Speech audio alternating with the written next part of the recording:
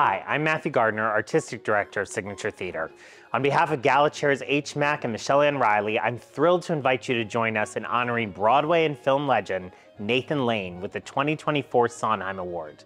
The Sondheim Award honors individuals who have made important contributions to the American musical theater. Signature couldn't be more excited to celebrate the remarkable artistic achievements of Mr. Lane.